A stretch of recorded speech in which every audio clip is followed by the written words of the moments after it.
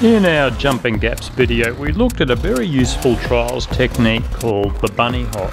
Let's do a quick refresher, as using this, as well as using a kicker, is a great strategy in endurocross for jumping two logs at the same time.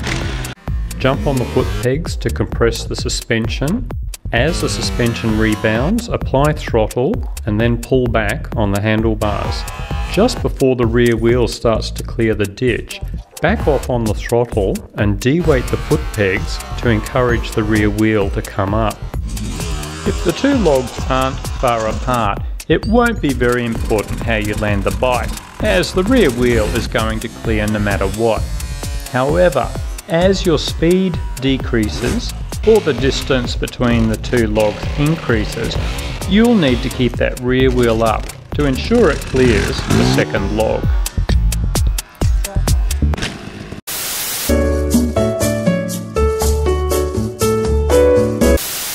So we use a combination of the bunny hop and using that first log as a kicker. First, jump on the foot pegs to compress the suspension. It should be rebounding just as the front wheel hits the log and you apply throttle.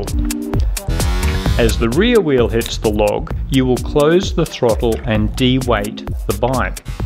Taking your weight off the foot pegs is critical as this means the front wheel will land first.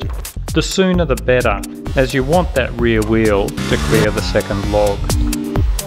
It's a bit nerve wracking at first, but the good news is, even if you don't lift the rear end high enough, it will still roll over the second log because you have de-weighted the foot pegs. And as with all techniques, start small and work your way up. I've only just started doing this for the first time and I can highly recommend bleach for cleaning out your underpants afterwards.